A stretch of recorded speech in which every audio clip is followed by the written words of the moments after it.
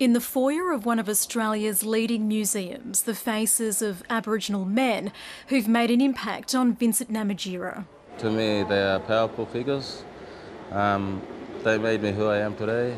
Adam Goodes, Eddie Mabo, and his great grandfather, renowned artist Albert Namatjira, are all changemakers in their own right, and all captured in the Western Arunta painter's latest commission. It's really important to have these kinds of statements in very public places. It's really critical, not only just for the statement itself, to be proud of the Aboriginal men that are upon that wall, uh, but also about some of the history and the kind of ideas that are um, within the mural itself.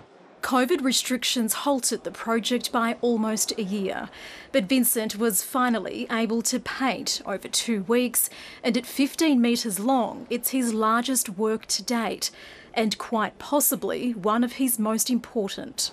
To me, it's like a turning point for me and my mom back at the lands and also back where I'm originally from, Hermannsburg. So if I can paint this wall, maybe they can also. And uh, if I achieve it, they can also achieve what I can do. Well, this huge mural will be the first thing many visitors see when they walk through this museum, and it's hoped the historical significance of this site also shines through. And for Vincent, he hopes to pay homage to his homelands too.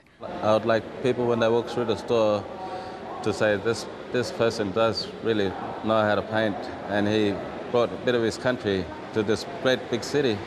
Big hopes for a big work. Nakari Thorpe, ABC News, Sydney.